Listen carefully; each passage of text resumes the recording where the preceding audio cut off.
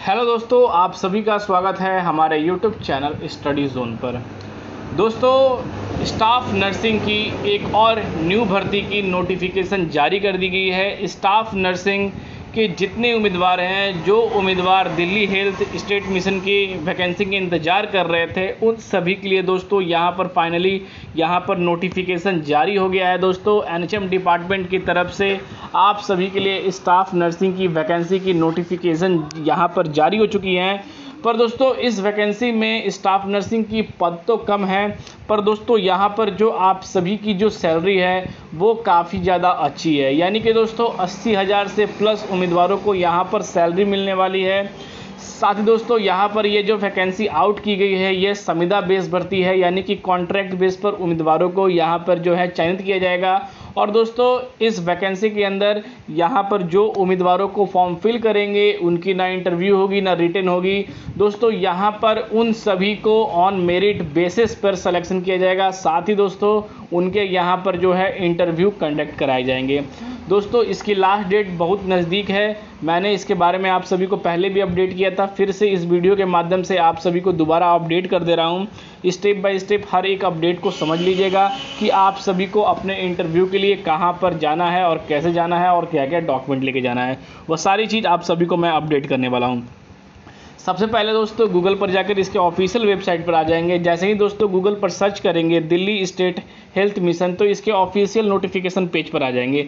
इसका जो लिंक है, मैंने अपने टेलीग्राम चैनल स्टडी जोन पर दे दिया है। वहाँ से भी जाकर आप इजीली ओपन आ सकते हैं। साथ ही इसकी नोटिफिकेशन की अपडेट फॉर्म फिलअप की अपडेट वो सारी चीज़ मैंने आप सभी को वहाँ पर प्रोवाइड कर दी है।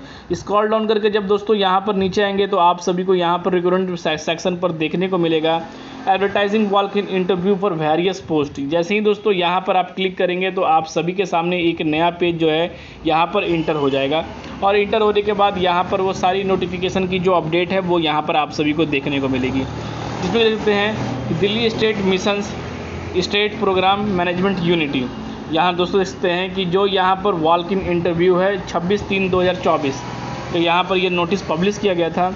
जिसमें कि दोस्तों देख सकते हैं कि यहाँ पर जो आप सभी की जो यह नोटिफिकेशन है, ये जो प्रोग्राम है, ये जो वैकेंसी है, वो पूरे तरह से कॉन्ट्रैक्ट बेस है। शायद दोस्तों, यहाँ पर उन उम्मीदवारों को एडवर्टाइजिंग के तहत यहाँ पर जो है उनके इंटरव्यू के बेस पर ही यहाँ पर जो है इस वैकेंसी के लिए यहाँ पर उठाया जाएगा। सबसे पहले दोस्तों, यहाँ पर देखते हैं कि यहाँ पर पाँच वैकेंसियाँ निकाली गई हैं। सबसे पहले सेक्रेटरिस्ट की वैकेंसी है यूआर के अंदर पाँच है। जिसकी इंटरव्यू डेट तेरह पाँच दो हज़ार चौबीस को है। यहाँ पर जो है क्लिनिक्स सेक्रेटरी क्लिनिक फिजिशियन की जो है यहाँ पर पाँच पोस्ट है जिसकी जो यहाँ पर जो है इंटरव्यू की डेट वो चौदह तारीख को रखी गई है। सेक्रेटरिस्ट नर्स की सेक्रेटरिस्ट सोशल वर्क की और कम्युनिटी नर्स की यहाँ पर जो वैकेंसी का रखी गई है वो पाँच है। सोशल वर्क की यहाँ पर जो है चार है। कम्युनिटी नर्स की चार है जिसके इंटरव्यू सोलह, पंद्रह और सोलह को रखे गए हैं। इस तारीख को आप सभी को, यहाँ पर दोस्तों इस एड्रेस पर यहाँ पर जो है रिपोर्टिंग टाइम आप सभी का इंटरव्यू का जो है वो नौ तीस ए से लेकर दस तीन ए तक आप सभी को पहुँचना पड़ेगा, जो इसका एड्रेस है। जो यहाँ पर Delhi state mission six floor B wing Vikas Bhavan.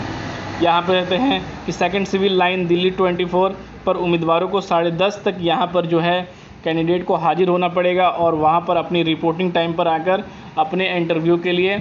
यहाँ पर जो है उन्हें वहाँ बुलाया जाएगा। इसमें आप सभी का सिर्फ़ इंटरव्यू होगा, जिसमें इंटरव्यू के अंदर जो है आप सभी की स्किल और रिटर्न की जो है जो है टेस्ट इसमें की जाएगी। जिसमें कि सारे उम्मीदवारों को यहाँ पर जो है अप्लाई करना है कैपिटल लेटर में अप्लीकेशन फॉर्म को फिल करना है। दो साल दो साल, यहाँ पर दो पासपोर्ट साइज़ की फ़ोटो साथ ही अपने document D certificate tenth certificate marksheet यहाँ पर जो है आप सभी के मार्कशीट सर्टिफिकेट आप सभी के एक्सपीरियंस सर्टिफिकेट वर्किंग पोजीशन में कास्ट सर्टिफिकेट और वैलिड इनकम ऐसे एसेस्ट सर्टिफिकेट इन कास्ट ई डब्ल्यू एस के लिए दोस्तों।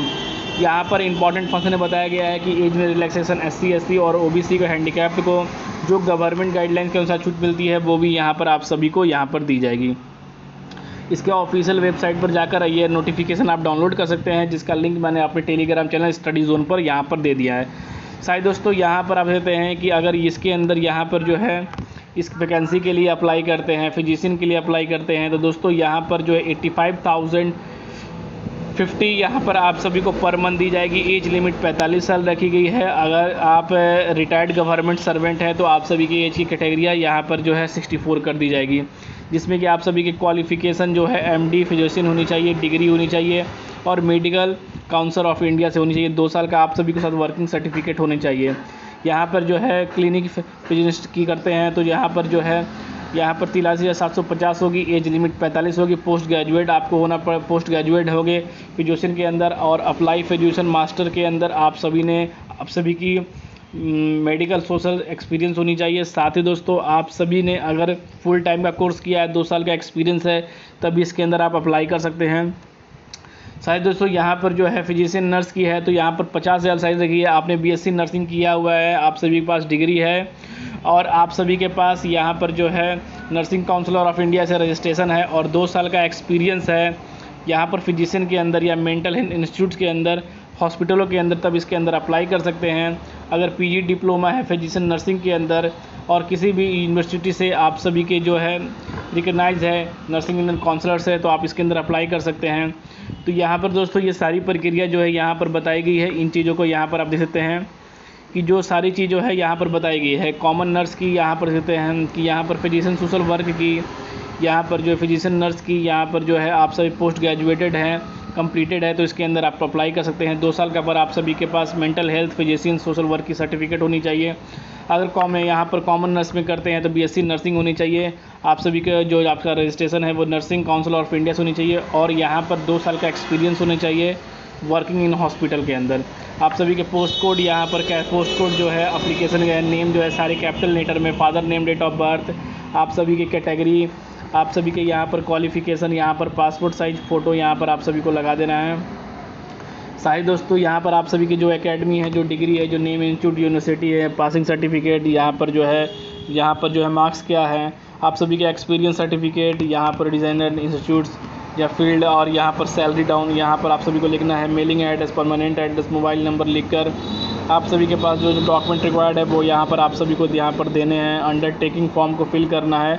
और यहाँ पर दोस्तों, इस एड्रेस पर आपको यहाँ पर भेज देना है।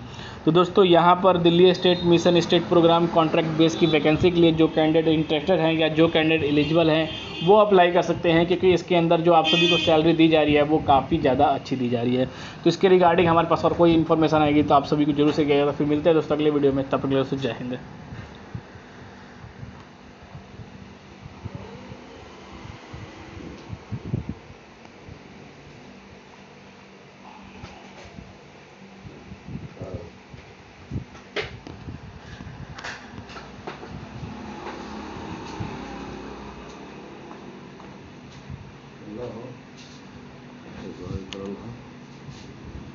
उस दिन उस दिन वाला नब्बे